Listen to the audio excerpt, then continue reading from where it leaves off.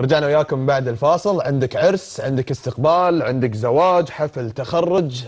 اللي ينجح هذا الشيء هو التنسيق. قبله بوقت وشلون تقدر أنت تجهز حق هذا الشيء. إذا أنت ما تعرف تجهز حق هذا الشيء. هناك من يختص بتجهيز هذه الحفلات. ونجاح المناسبة تكون من خلال التجهيز. لكن صعوبة هذا الشيء خصوصا في العرس.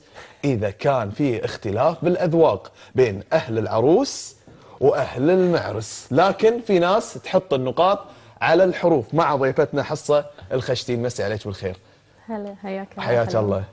واهلا وسهلا. يقول لك كل ما زادت فلوسك صار عرسكم أحلى صدق هالحكي؟ طبعا. زين بوفر وابيع عرسي. من دورك الحين في الموضوع. أنا ترى عندي بس 5000 أبي عرسي. واو. آه ممكن يصير؟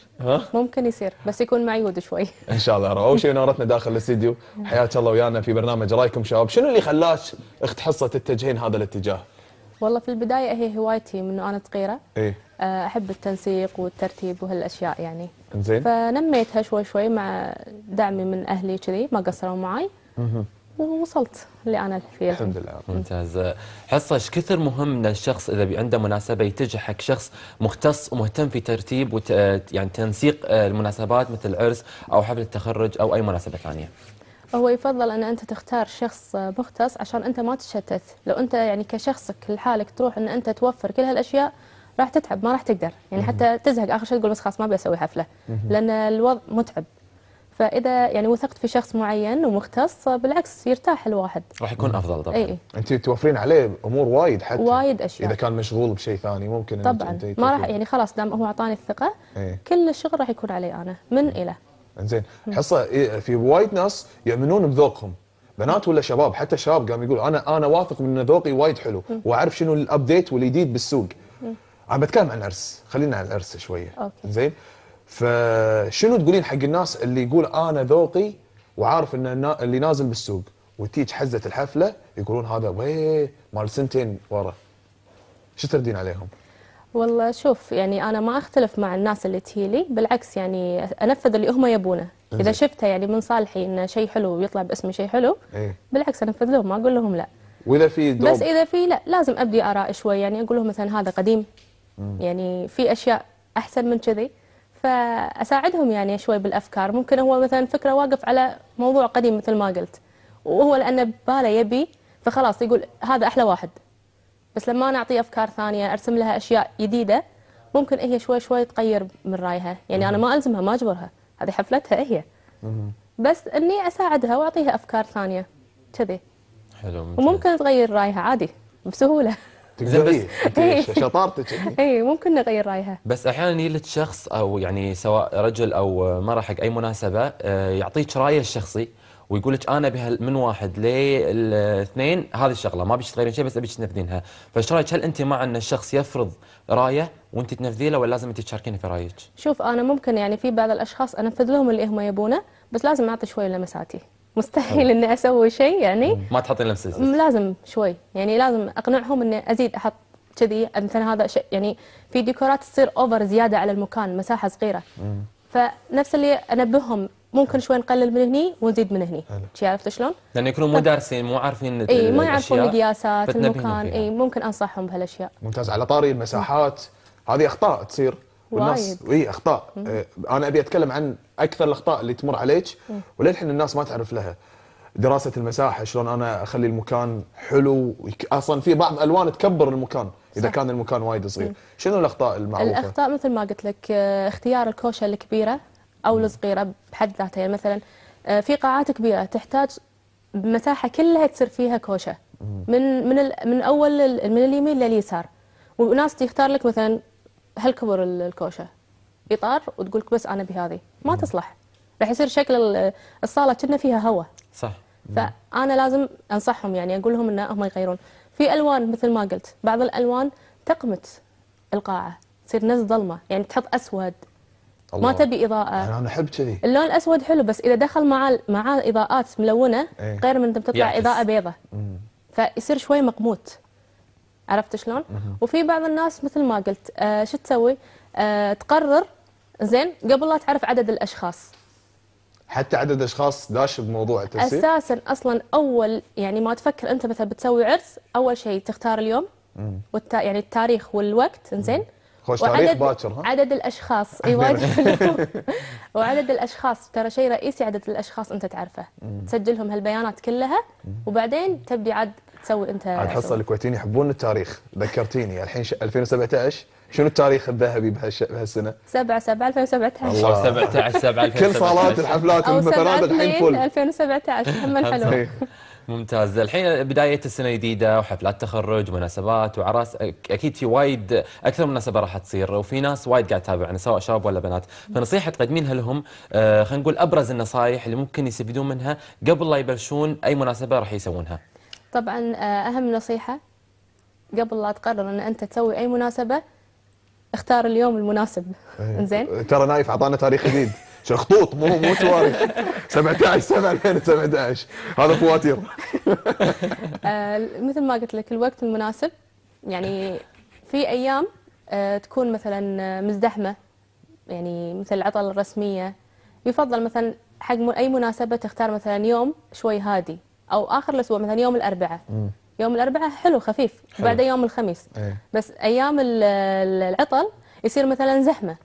فلازم قبل لا أنت تفكر إن أنت تسوي الحفلة تختار اليوم المناسب. بعدين تتفق قبل الحفلة بأشهر يعني يفضل. يمكن أنت المنسق هذا نفسه يكون عنده ازدحام ما يقدر يستقبلك. أنت تبي آه، تبي تتعامل مع منسق معين. إجازات صيفية. إي تختار يعني لازم قبلها بفترة. يعني قبل أقول على قولتنا ذهب الدوا قبل الفلعة قبل لا اتخرج مثلا بشهر أو شهرين لازم أول شيء أتفق مع المنسق نفسه مال الحفلات. زين أنت مع أن العرس يكون بال weekend ولا أيام الأسبوع؟ أفضل. والله هذا له ميزة وهذا له ميزة. أنا أتوقع ما أدري وجهة نظري إن الحريم يحبون ال weekend لأن أنتم تطولون. يبون يسهرون. وإحنا يعني. شباب يحطها بال weekend مخيم ومش عليه ما نقدر. الريايل يحبون اعراسهم بأيام الأسبوع مثل إيه. ما قلت لأن وقت الإجازة اللي يروح صح. المخيم اللي يروح مزرعة. اللي يروح إيه. فتخرب على وايد ناس خصوصا اي في اما. الحريم لا ليش تفضل يو... يو... أيام العطل عشان تسهر تقعد يعني فترة طويلة بالعرس إنزين اي يطولون أنتم حصة إيه. قولي لي عن الألوان ألوان آه، علشان الناس تستفيد أكثر شنو الألوان ال- ال- ال- اللي صايرة الحين دارجة وموضتها شوف ال... ال... الورد أو الألوان نفسها ترى ما لها موضة يعني هي هي العروس هي موضة العرس إنزين. كل عروس هي تكون على قولتهم آه، زهوة العرس. يعني ما في لون معين ما في موضة حق الكوشة ترى.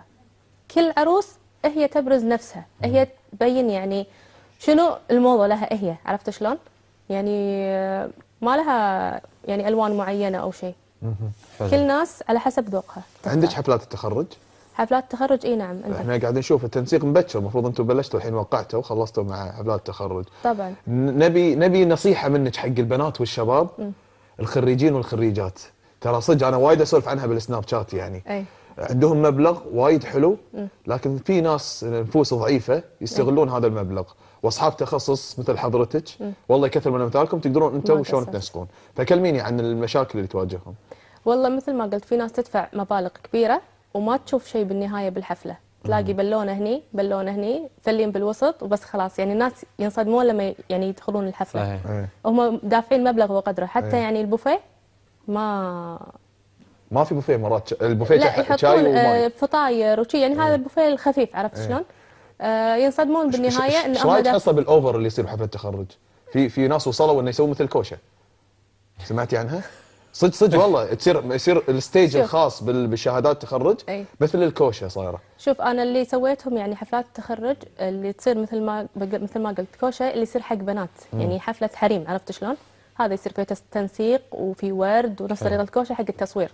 أما حفلات مثلا المدارس يكون شوي رسمي شغلهم ما ما يصير نفس الكوشة. حلو. تكلمنا عن العرس وتكلمنا عن حفل التخرج والأمور ال- المناسبة لهذه الحفلات ولكن خلينا نتكلم عن استقبال الولادة بشكل مختصر. شنو الألوان أو الأشياء المناسبة اللي تكون؟ خصوصا وايد حريم آه، تواجهون صعوبة في غرفة الولادة. يمكن تولد بوقت مو تاريخها تضطر في غرفة هي مو مختارتها. فكلمينا عن هذا الموضوع. آه شوف آه في مرات آه غرف المستشفيات تجبرك يعني في ألوان معينة. صح. يصير مثل لون الغرفة كحلي عنابي أنت تنجبر انه يعني تحط لون عشان يناسب لون الطوفة لون يعني. ما لأنه ما راح تقدر تغطي المستشفى يعني. صح. عرفت؟ فأكثر الألوان اللي يختارونها الألوان الفاتحة هي اللي تركب مع شو اسمه بس في ناس ما تتغاضى عن اللون ال- ال- الخلفية فتحط اللون اللي هي تبي تبي الوردي تبي الأزرق أي لون وردي هي تبي هي تختار عادي.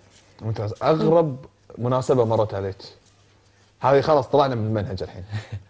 خلصنا من اسئلتي بس أنا كذي أبي أعرف مناسبة شوف أغرب مناسبة يعني هي جاية بالطريق بس أنا صدمت لما هي قالت لي شنو طلاق؟ حفلة طلاق لا صدق لا؟ لا, لا. ورد أسود كثري من الورد الأسود حفلة طلاق لا معود لا أحد يسانا والصدق بتسوي لها الح- الحفلة هي. قالت لي بس.